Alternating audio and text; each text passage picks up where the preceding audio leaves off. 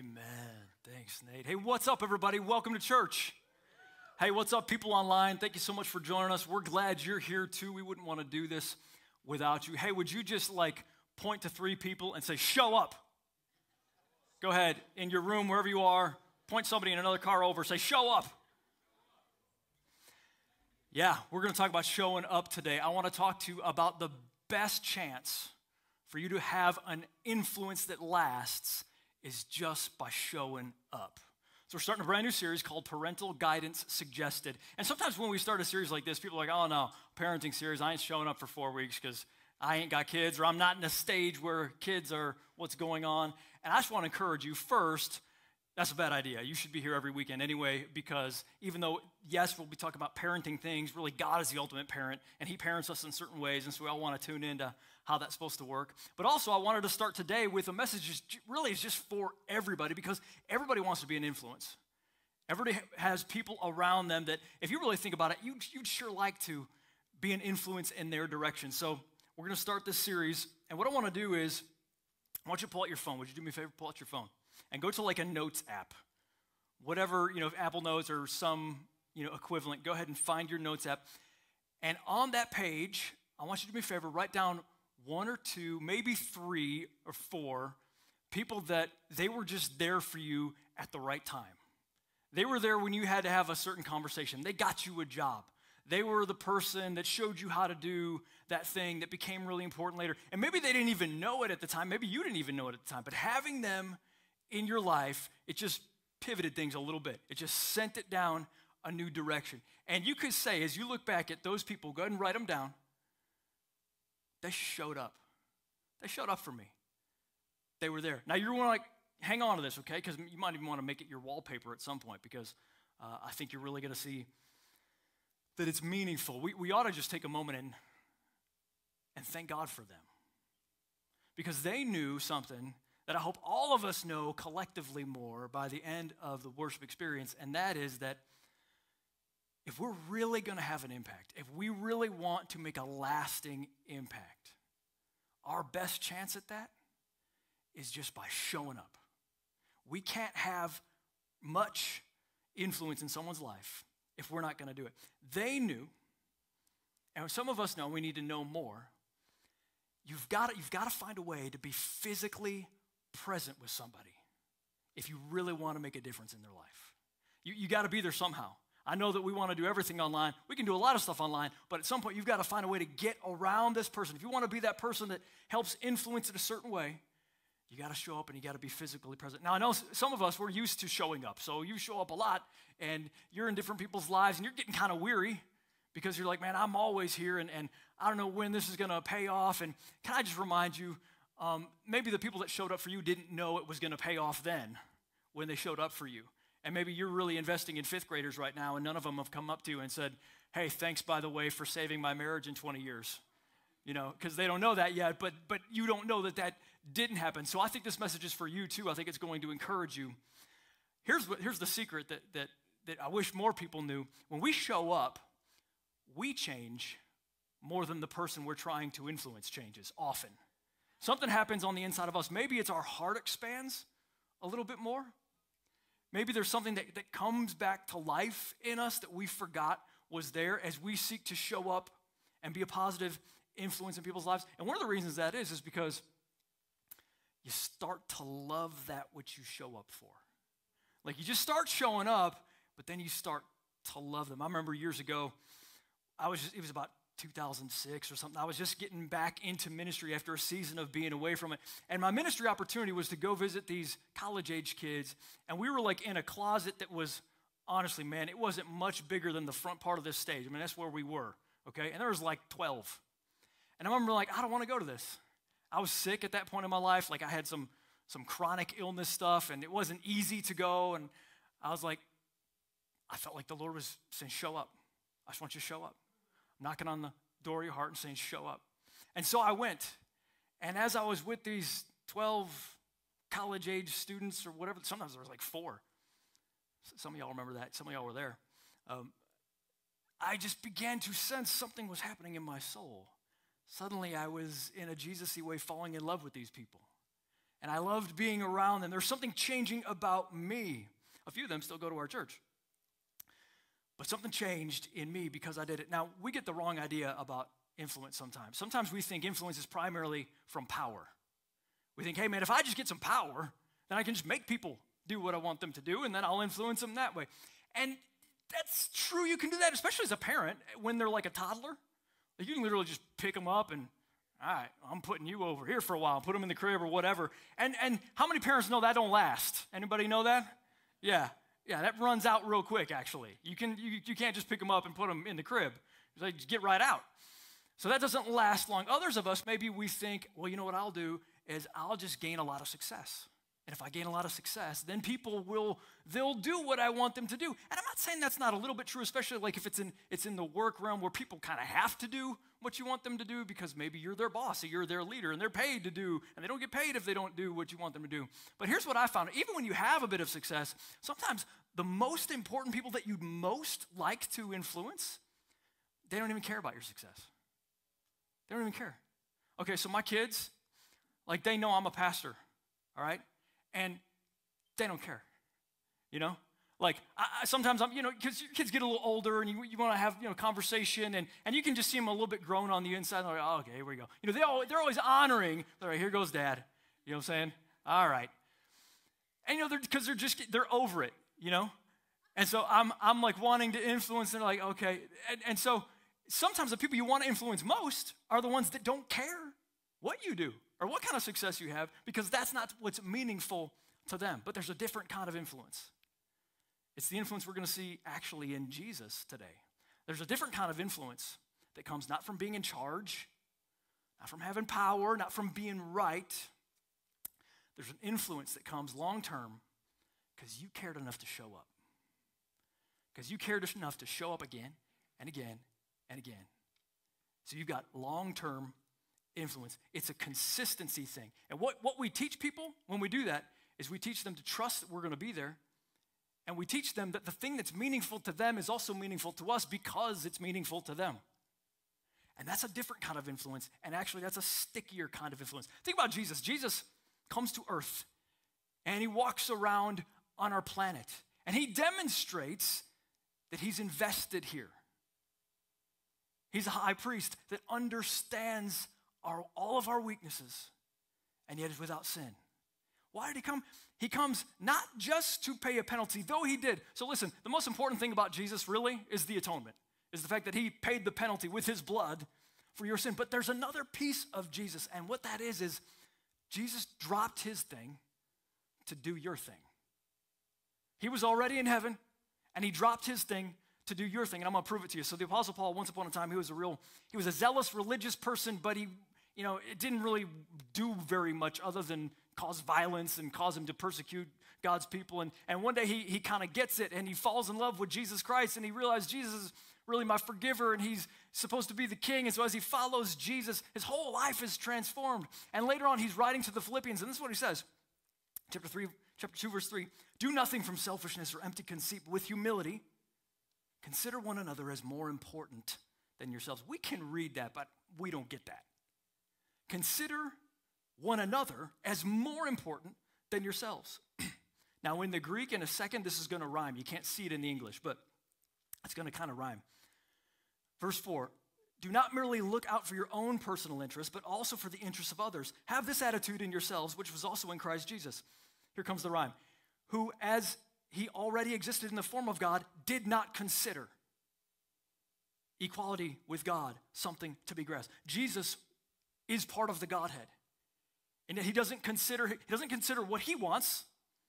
He's emptying himself of that and consider what's the Father want. And, and, and he, Paul tells us, don't consider what you want, just like Christ. Don't consider what you want, consider what they want. Verse 7, here it is. Powerful, awesome. But he emptied himself by taking the form of a bondservant and being born in the likeness of men. And being found in appearance as a man, he humbled himself by becoming obedient to the point of death, even death on the cross. That word emptied himself, it's a really important word. It's the word kanou, and what it means is voided. It's, it's to step down, it's to unrobe yourself. Okay, so if you think of a voided check, it, it has a lot of potential power, but you write void on it and you you take away the power that it had. That's what Jesus did over himself when he came to us. He emptied himself, he voided himself, he stepped down away from his power. And why did he do it? He already had a great deal. It was already going awesome for Jesus. And he said, I'm going to drop my deal so I can do your deal. I'm going to empty myself. I'm going to void of all the stuff that I have so I can come get involved and be interested and connect with and understand the things that you have. He emptied himself. I wrote this down. Emptying is the ability to press pause on your own agenda, thoughts, and feelings long enough to explore someone else's agenda, thoughts, and feelings. It means you let go of you to connect with them. Let's do that again. You let go of you, you let go, you empty. He emptied himself, you let go of you to connect with them. He was found in appearance as a man. He connected with them as a man. He didn't come as a tree frog, right? He didn't come as a picnic bench. He came as a human because he was trying to communicate I want to get you. I want to understand your suffering. I want to walk among you as one of you so that you understand I'm invested in your thing. I want to be here. Why would he do that? I mean, Jesus, if anybody could have done it, Jesus could have been like, um, I'm just going to have, I'm just going to have my influence by power. Right? He has all power. So what's anybody going to do? He's already got all power. He could have said, um, I'm just going to, I'm always right. I'm righteous. I'm right. I'm omniscient. I know everything. So I'm just going to lean into the fact that I'm right and you're wrong, and that's how I'm going to try to influence you. He didn't do that. And he didn't do that because he wanted his relationship with you and his relationship with me. He wanted it based upon the idea that there's a God who's interested in you and wants to come find you out. He wants to come say, I'm all in on you. I'm going to empty myself of me so I can connect with you. That's what Jesus was after. So we let go of you to connect with them. And the good news here is everybody can do this. Everybody, every one of us can empty ourselves to connect with others. Now, the danger is, the difficulty is, is scary. It's a little bit scary because it's going to cost us if we do this. It did cost Jesus, it's going to cost us. Not as much, but it's going to cost us. It's going to cost you time. Think about, I mean, just even just thinking about other people's stuff. That's going to cost time. It, what's it like to be them? What's it like to go through life as that kid? They don't have a father figure around. The, the house is chaos. What is it like to do life as that kid in that family? What's it like to go home to that? What's it like for this person? Man, that's a very different life than mine. I'm just going to take my time. I'm going to, I'm going to think about it. I'm going to put myself in their shoes. That's going to cost time. It's going to cost heart space. Some of us, we, maybe you don't want to expand your heart. maybe you've been, you like, that burned you in the past. So you're like, eh, never again. I don't want that to cost my heart space, but, but God's into the stretch. Somebody say, God's into the stretch. God, I know that you don't want to, but God's into the stretch. God will stretch your heart. So maybe that's it for some of us. For others of us, we're afraid that if we start to love again, we're, we're going to get hurt. So we're just afraid ah, if that opens up, that leaves me vulnerable. And then there's others of us who's just a little more selfish. Truth is, you just like your spick and span life. You just like it tidy. You're like, this works. This is clean. You know, there's, there's the least amount of resistance and convenience, inconvenience. So I, I like this, and I don't want to get anything. I don't want anything to muck it up. I don't want to make it harder in any way. Proverbs 14:4 says this: An empty stable stays clean, but there's no income from an empty stable. Oh, baby, yeah, nothing's going on. That, that looks really clean, but there's no kingdom income coming from that. Jesus can't use that very much because there's no work happening. So my wife, she was a college student. She was my girlfriend at the time. And we went to this little church, and one of the gals, she was actually one of the professor's wives of the college we went to, this gal asked her, Hey, why don't you come out to McDonald's with me? And as a young college student, Kenzie starts to get discipled and mentored by this older gal. They're meeting at McDonald's first, and then her name's Beth, and Beth invites Kenzie over, okay? And now she's like in Beth's life, and she's seeing what happens when Beth homeschools her kids. And she's watching that. Okay, and you got to remember, like, th- this is 1996. About okay, so homeschool is not what it is right now. Homeschool, when you th- people thought of homeschool is kind of ridiculed. It's like, oh, so you make your own butter too, you know, or you don't? Do y'all have light bulbs? Like, it's a step away from Amish. That's how people think about it. Okay, and so, yeah, we we're pretty excited about that choice now that we made 25 years ago. But back then, it wasn't it wasn't as cool. Um, but she's watching Beth do all this stuff. And then Beth will bring home all these groceries and, and she's talking to Kenzie as she's putting them away and she's, she's teaching her about, hey, this is, how I, this is what I do with a whole chicken and this is how I feed my family and this is how this goes. And then she began to share her books with her, the, the ways she'd been discipled. And she, she shared these old, old school books. And baby, we need the old school books because there's nothing insta glam about these women's books. This is about, these people didn't want to be famous. They were just, I, I want to disciple people. So I'm gonna write some things down. And as Kenzie made her way, these are literally Beth's books. Kenzie made her way through. Can you imagine the, the gift that it was to find Beth's prayers and the notes that Beth made in these books? And she's passing this wisdom on from one generation to the next. And she would talk with Beth about marriage and about kids and about submission. I said the S word. Yeah, I, I got to tell you, man, I know some people are out on submission. I think that's probably because you've never seen a beautiful model, never seen a beautiful example. But Kenzie saw one, and it was really beautiful. Here's what happened Beth showed up by inviting Kenzie along. She just invited her along. She was already doing the things.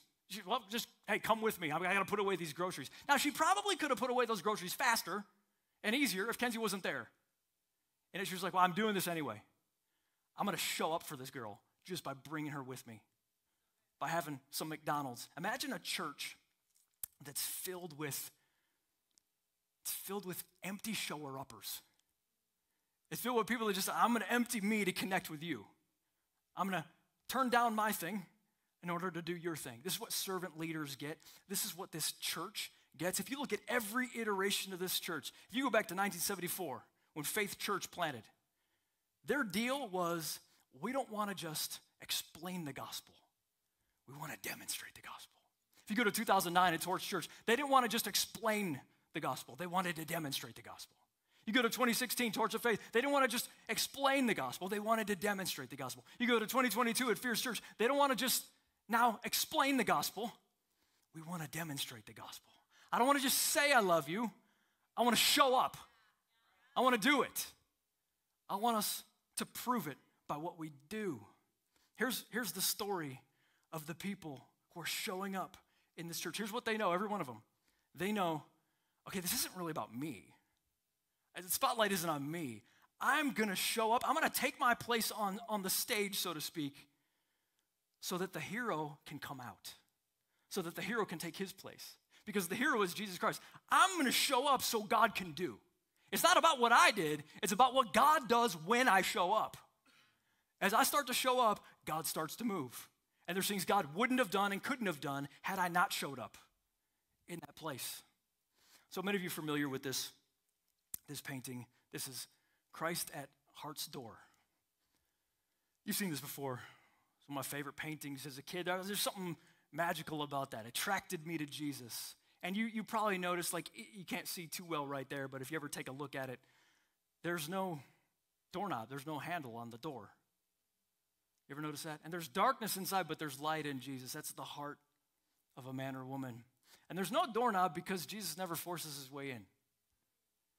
You got to open the door. And so, each and every one of us, at some point, we're in life, we're going to hear Jesus knocking. I stand at the door and knock. Anyone who opens the door, I'll come into him and dine with him. He stands at the doors and he knocks. And when he comes in, he transforms our heart. He comes in to live in our heart. And he forgives our sin. And he starts to, you know, he walks around the house of our heart and he starts, well, we're going to throw this out. Like he just starts getting rid of stuff, you know. And there's always more that he's got to clean, but he, he like starts to take over different places. But suddenly it's good. And suddenly it's beautiful in there. Here's what we don't know. After Jesus has been in there for a while, He's going to knock again. He's going to knock. And we're going to go to the door And Jesus is going to say, You see them? See that group of people over there? You see that teenager right there? You see this group of people right here? Will you invite them in? Because I died for them and I love them. And I came in here not just to put me in here, I want to put some other people in your heart. I want you to open your heart to what I love, not just the fact that I love you. I want you to invite them in. And one of the ways we invite them in is we show up. We show up by opening the door. About the same time, Beth was discipling my wife, another gentleman who was in our church, real soft spoken fella. He wrote me a letter. Now, this was, again, this was the mid 90s, and so there was email somewhere, but most of us weren't using it yet. He wrote a real letter. And I say that because I want everyone to see there's different ways to do this. There's not just a cookie cutter way to initiate with somebody. He writes me this letter. You know, I'm getting this letter from this older dude. And he, he says, Hey, I just want you to know, I've seen you in our church. I'm praying for you. If you ever want to get coffee, I just wanted to make myself available. And so I took him up on it. And we start to go out for coffee once a month. And he starts to sharpen me. He starts to, you know, hear some of what I'm saying. And then he's he's good at giving feedback. Sometimes I didn't even know how to receive feedback yet, but he knew how to give it, so he just would. I mean, I wasn't much different. Imagine he's a soft-spoken guy, okay? And y'all know me, I'm like this spitting fire kind of dude, real intense, okay? And and I wasn't much different then. I was just less saved. And so, you know, that's how that went. And, and he's but he's he's got the patience. It wasn't like him, but he's got the patience to sit in there and, you know, he went to my first preaching event. He just showed up. He was just there as this, this kind of quiet guardian watching over me. He opened the door. And when we open the door, Jesus is going to ask you to become a door opener. You open that door, and he's going to show you some other people. And here's the thing He's not making any promises about what's coming through that door. Okay? It might not be like you. It might not be the ones that you would think. It might not even be someone who believes like you. It might be somebody very different. You might say, I don't even know what to do with kids. And yet, Jesus is saying, See those kids? I want you to go spend time with them. Oh, God, I don't know what to do. I know that you don't know what to do, but I'm the hero. I know what to do. And here's what's beautiful about Jesus whatever Jesus directs you to let in, he makes his own responsibility. He's not counting on you to do it perfect. He's counting on His wisdom and power through you. And here's what I think every one of us needs to be warned about. And this is the right place because you showed up here. You showed up here today. You showed up here right now online, where, whenever this is, you're, you're listening right now. You got to understand that as we come here on Sunday morning, it's really important. It's, it's like it corrects our thinking. The point of Sunday is for you to come in and, and really you just hear that we get kind of a cleanse of God's word. And it just, you know, because God's word leaks out of us all week. And even if you're in the work every, the word every day, like it just leaks and you gotta you just have it's, it's a regular time for you to just get boop, you know, pop you right back. Okay, like the typewriter. Like there you are again. You get a fresh bath in the word. And it's to see other people and appreciate your family and worship together. But you gotta know that after about two or three years, the novelty's gonna wear off. And we'll still do new series and you'll still hear new things from God's word, but the novelty will be gone, and so it just won't seem as exciting. And you'll be like, ah, I know, I know, Carter. You'll be like my kids. You're like, ah, uh huh, I know, Dad. I get it. And I think that's supposed to happen because it's time to show up. And not just show up here and not just show up there. See, if we don't decide to show up in somebody's life, we don't grow up. If you don't decide to show up, you don't grow up. There's something that becomes stunted. Because listen, Jesus didn't just come to give us a class. He says, Yeah, at some point you got to get on the bike though. Quit reading about it. You got to get on. And there's people out there that I'm knocking on the door of your heart with, and I need you to open the door. We help 0% of the people we don't show up for. Uh, that's a weird statement, but just think it through. We help 0% of the people we don't show up for. And God wants us to show up. Somebody say, show up. So, here's what I want to ask you to do is pull out your phone again. Pull out your phone, pull up that notes app. you wrote down people who were some kind of an impact on you. They showed up. Now let's do this. Let's write on there people that maybe the Spirit of God is asking you to show up for. Maybe there might be some people who you want your name on their list later on in life. Who is, who is the Spirit of Jesus just saying, Have you noticed? Have you noticed them? Have you seen that thing over there? I would like to send you. And it's going to enlarge your heart. And it's not always going to be easy because it's not always going to be what you expected. But I'm going to take center stage and I'm going to be the hero of the story. I'm going to help you open other people's hearts to me. It's going to be absolutely beautiful.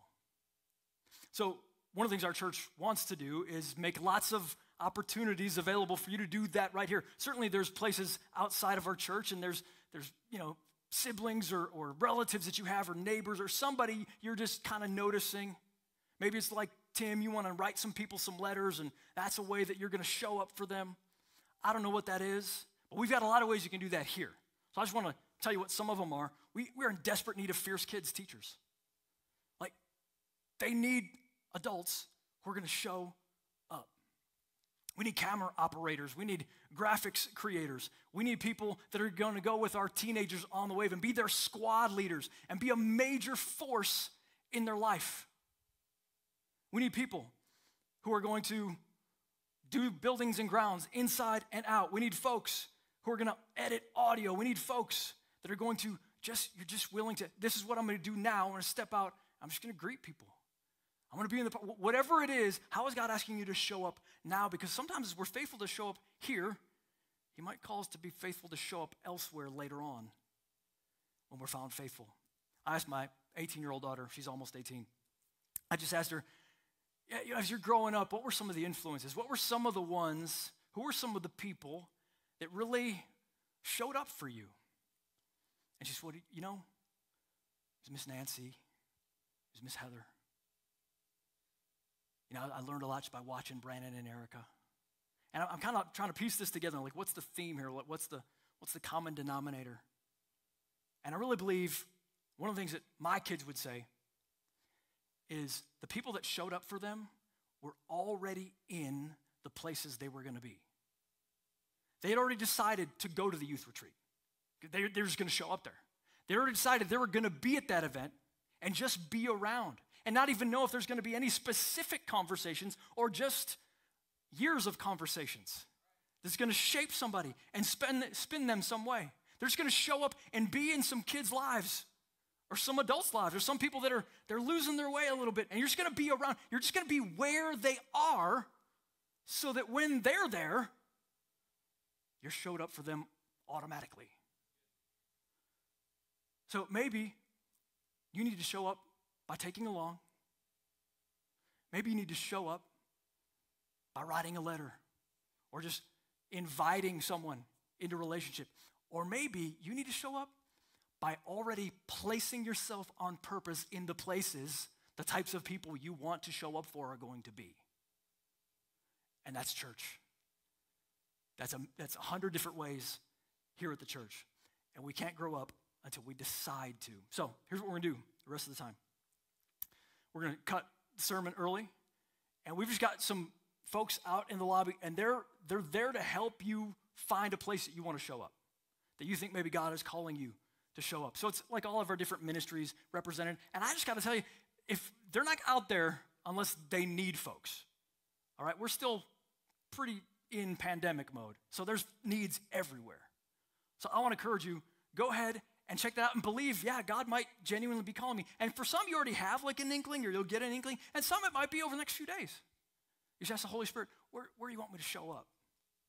For some of you watching online, there might be some online ministry there might be something else that's just more in your private world where God is saying, I want you to show up. But we're going to pray in just a minute, and then I'm going to release you. And I just ask you to just, just walk slowly down the hall and see what happens.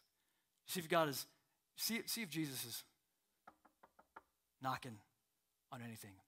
And we're going to pray that even if you don't hear him knocking, see, he's so wise and awesome and perfect. He has a way of just using what our natural decision would be to get us into his will. So let's bow our heads. Jesus, you showed up for us. Thank you so much that you emptied yourself to connect with us. We pray for us now that you would help us to follow your lead and empty us to connect with others. There's a hundred different ways we're called to have influence. God, but help us be all in. Help us to forget about our thing for a while, to focus on your thing. I pray for courage, and I pray that you would just help us find our way. And whatever happens, as we open the door, that you would take center stage and draw more and more hearts unto you. In Jesus' name, amen. All right, let's go get them, folks.